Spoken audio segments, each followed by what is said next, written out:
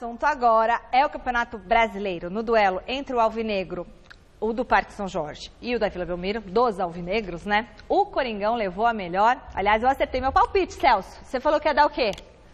Corinthians e Santos? É. Corinthians? Falou nada, falou Sei lá, empate. Tá no, tá no blog, é só ver. As pessoas podem acessar também o programa Vamos de novo. acessar. Você tenta conturbar o ambiente. Desvirtuar tudo. É. Bom, o Flávio, o Flávio falou o quê? 2 a 0 pro Corinthians. não foi não, Flávio. Acho que você falou empate. Não, não Bom, falei empate. Devo ter falado 1 a 0 pro Corinthians, que é sempre o meu palpite. Bom, então com o apoio da Fiel, que lotou a Arena em Itaquera, o Timão venceu o Santos por 2 a 0 e se manteve aí na ponta do Brasileirão, ao lado da Chapecoense com 10 pontinhos. Resultado negativo fez a diretoria Santista demitir o técnico Dorival Júnior. Veja os gols na narração de Celso Cardoso. Fagner. Jogou para a área. Subiu ali o Jô, ajeitou para o Romero, agora entrou. Gol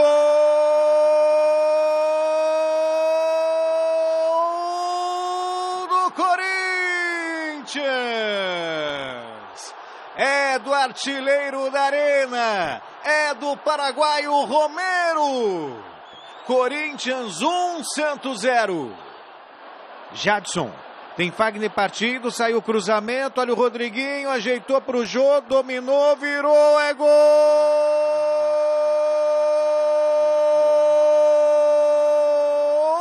Golaço! 29 minutos do segundo tempo. O rei dos clássicos, o Mister Clássico Jô faz o segundo. Corinthians, Corinthians 2, Santos 0. Estamos evoluindo, acho que dentro do tempo, e tem muito para acontecer ainda. Eu espero muito ainda. Sou uma equipe chegando mais, né, finalizando muito mais no gol do adversário. E essa margem aí a gente tem muito para buscar ainda. Mas com o grupo que eu tenho na mão, vai ser com os pés no chão e com bastante trabalho e humildade até o fim. O Jô agora, vamos falar do Jô, terminou ele que falou. Professor, deixa eu falar primeiro. Ele terminou a reunião agora. Continua com os pés no chão. Até o fim do ano, até com esse. Não sei até quando esse grupo vai, com os pés no chão. Então é muito difícil a gente falar do que pensam os outros, mas a gente está passando já uma ideia que vai ser muito difícil jogar contra o Corinthians todos os jogos. E aí cabe agora também, Flávio, a diretoria do clube dar respaldo para o treinador. O Carilli está fazendo algo surpreendente. Ninguém apostava nesse time do Corinthians. Muitos nem apostavam que ele fosse se manter no Você cargo. não acha que é a quarta força? Não, não acho. Não acho, acho que o trabalho é muito bom. O, o- talvez o, o, o time mais organizado do futebol brasileiro seja o Corinthians. Maneira de jogar bonito, aí é uma outra história. Mas organizado, taticamente, você vê ali, o time é, realmente é organizado. E se a diretoria. Porque veja só, muitas vezes, Flávio, você vê times com 11 jogadores brilhantes e que não, não dão liga. E de repente times mais limitados que vão longe. Vão longe por quê? Por causa do tempo de trabalho, pelo entrosamento. Por isso a gente viu um São Caetano, por exemplo, chegando a finais de do- dois campeonatos nacionais seguidos. Viu o Paulista Jundiaí campeão da Copa do Brasil, que era um trabalho longo. Então, se a diretoria conseguir segurar esses jogadores na janela que tem agora, Aí já é mais complicado, hein?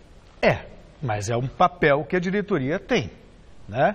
Então, se Ah, conseguir é segurar, coisa. Aí já é um pouco demais. é, né? mas se conseguir segurar, eu vejo, vejo o Corinthians brigando pelo título. É assim, eu, eu- consigo ver. Segurar o técnico, acho que é importante, é obrigação, é legal. O Carilli ontem foi lembrado no Mesa Redonda, ele tem oito anos de Corinthians. É. Oito anos.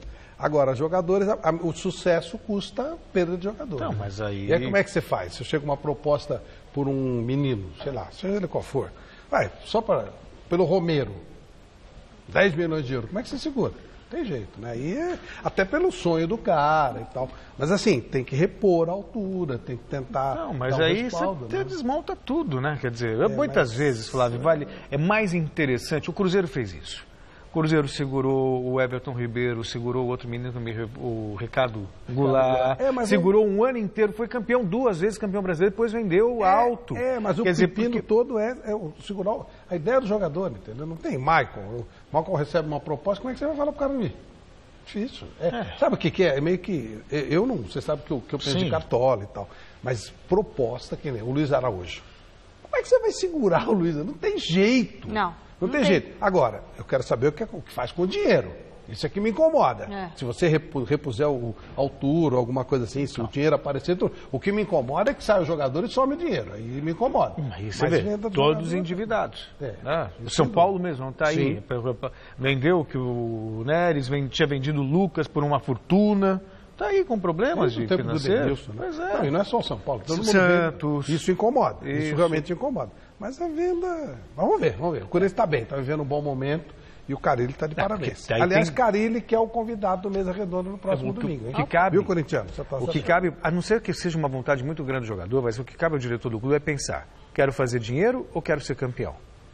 Então, se tem um time limitado que está indo bem, faz um esforço para segurar. Porque senão, aí também não adianta nada. Mas, de qualquer forma, o Corinthians, só para dizer, o, o Corinthians nem foi um primeiro tempo tão bom. No segundo tempo foi surpreendente a maneira como o Corinthians jogou. Sufocou o time Atacando do mais, Santos. né, não fazia atacando mais. Tinha aquela história, ah, o Corinthians não consegue propor o jogo. E propôs o jogo diante de um Santos, que é um time forte.